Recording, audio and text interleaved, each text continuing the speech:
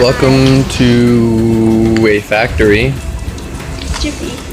and a man named Corny who was under surveillance.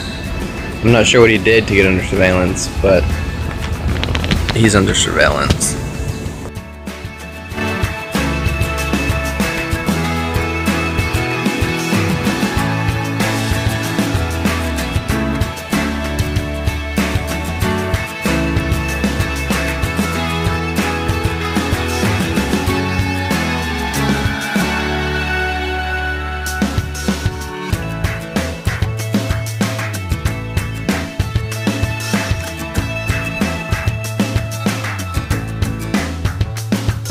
Big moment in these people's lives.